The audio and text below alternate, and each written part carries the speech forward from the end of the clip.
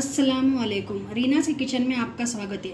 आज मैं बनाने जा रही हूँ गोश्त का सालन। इसके लिए मैंने पहले ही गोश्त गला कर रखा था।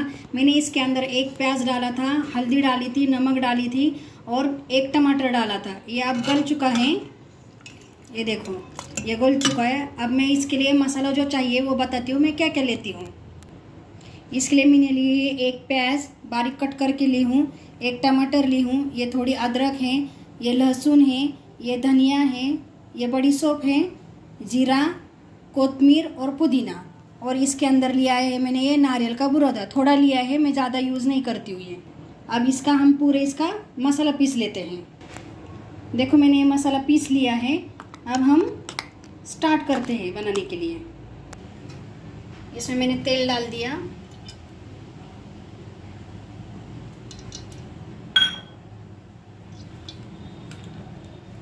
अब ये पीसा हुआ मसाला डाल देंगे।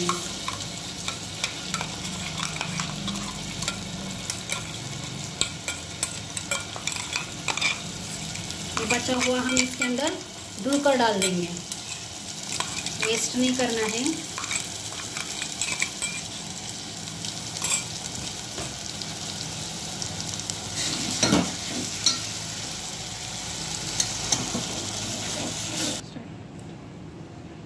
अब मैंने लिया है हल्दी, लाल मिर्च पाउडर। ये मिर्च पाउडर है, घर का पिसा मसाला है और ये गरम मसाला है। अब हम इसके अंदर डाल देते हैं।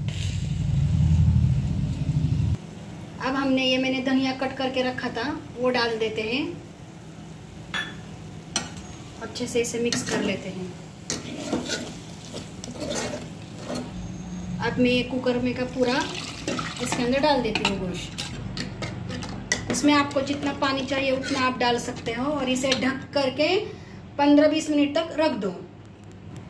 अब हम इसमें नमक डाल देते हैं और इसे अच्छे से मिक्स कर लेते हैं। और जो मिक्सर के बर्तन में जो बचा हुआ था ना तो थोड़ा उसके अंदर पानी डालकर मैंने इसके अंदर डाल दिया। अब इसे हम आधा ढक करके रख देंगे। देखो, ये बन गया हमारा गोश्त का सालन मैं अभी इसे बंद करती हूँ और आपको बताती हूँ ये कैसा लग रहा है। अब हम इसमें कटे हुए कोतमीर डालते हैं।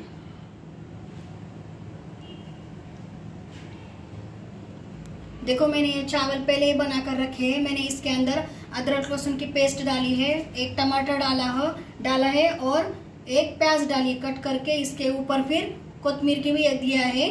और ये चावल बना दिया है। ये देखो, मैंने चावल पे सालन डाल दिया। ये बन गई हमारी रेसिपी अगर मेरी ये रेसिपी आपको पसंद आई तो इसके लाइक करें शेयर करें और सब्सक्राइब करें। अल्लाह हाफिज़, मिलते हैं दोबारा दूसरे रेसिपी के साथ।